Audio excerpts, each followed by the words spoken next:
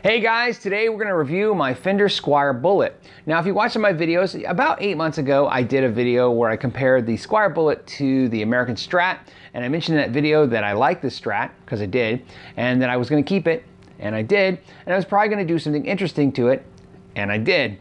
So uh, recently I was asked the question, what do I think of guitars in the $200 price range, uh, also known as beginner instruments, and what do I think of Squier? And obviously I like both, because I have one. So let me explain. One thing about entry-level instruments is you have to understand a little secret that I've learned over the years when it comes to quality of guitars. And I was just telling some friends about this this week. Um, the quality of guitars really has to do with the how many of the unquality guitars, the bad quality guitars, get seen by the end user. Let's never pretend. There's no such thing as a, somebody who's building a product perfect every time.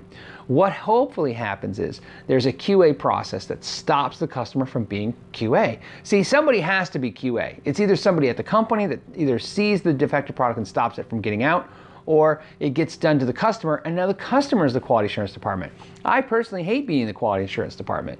Uh, I hate getting an instrument and have to figure out what's wrong with it. I like to think that somebody did that for me. So what happens is some companies are better at it than others. Now, let's be honest here. When the guitars get really inexpensive, like everything that's inexpensive, QA goes a little lax. We'll say lax and lets a higher percentage of stuff that's really not up to muster through. So when you're looking at a $99 Squier Bullet and somebody says, oh, they're horrible, well, the truth is they are horrible is an incorrect statement. The statement should be there are some pretty bad ones and there's going to be a good volume of them. This particular instrument I probably tried, I think I said it in the video 15, I can't remember, but it was a dozen for sure. It was a, it was a lot. I went through them all. Uh, and this was super light, it played great, the neck felt great, it needed no modifications whatsoever. I polished the front ends a little bit, but that's not fair to pick on this guitar. I've done that to a lot of high-end guitars as well. Um, and this guitar was actually fine the way it sat. I just wanted to improve it and do some fun stuff. So here's what I did. I upgraded the tuning keys to 70s Fender style tuning keys. And the reason I did that was I got them used for $20 and you can't beat that deal. So I have new tuning keys that help the guitar stay in tune. I polished the nut and made sure it's smooth. So it stays in tune. And it's fantastic. And uh, left the bridge stock. I had no problem with the bridge. Some people get a, you know, they like the, the brass blocks and this and that. I, I was fine with this. The guitar is fine. Um, the uh, everything I left is I left alone, except for I changed out the um, pickups. Now, what I did is the best deal out there when it comes to boutique high-end pickups is the William Wiggins pickups. Now, he makes them by hand. They are handmade. So if you have a Wiggins pickup, he, they are made by hand by him, and they are made out of wood. These are flamed koa. Look at that.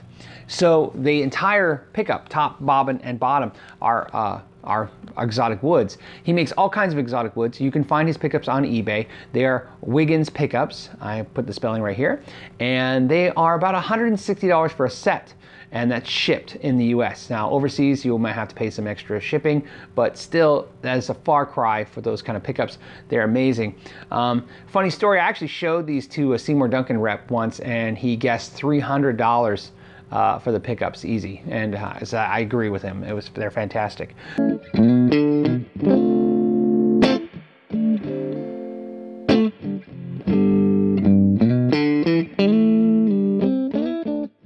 So I have 150 into the pickups. I bought them before the price increase of 160. 150 into the pickups, 100 for the guitars, what I paid, 20 for the tuning keys, $270, and this guitar is fantastic.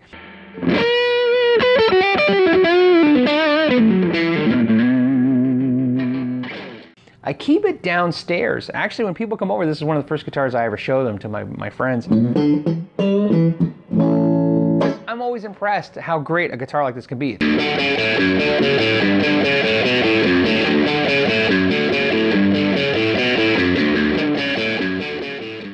I've been tempted to actually replace the neck and put a higher end neck in it, like an American neck, and just have it the way it is. And then I, when I play it, I go, I don't know why I think that because it's fine the way it is.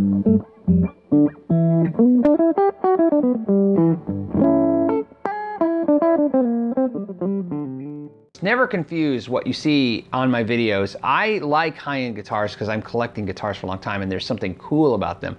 But let's let's be clear, I really do like all guitars. If I come across a guitar, I don't care what price it is. If I like it, I like it. This guitar, I just happen to need it for a video, and end up liking it, and I play it. In fact, I play it a lot. Usually when I'm reading emails in the morning, this is what I'm actually playing.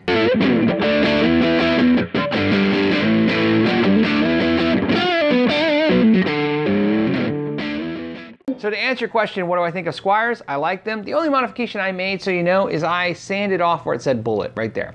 I like it to say Squier Strat. I didn't want it to say Squier Bullet Strat. I don't know why. I just didn't didn't care for it, and it was easy to do, so I did it. Uh, like I said, it sounds fantastic, has great tone, great sustain. Some people like the affinities more because they have the alder bodies and a little bit higher quality components, definitely higher tuning keys than the bullets. I mean, let's face it, the bullet is, is a low end.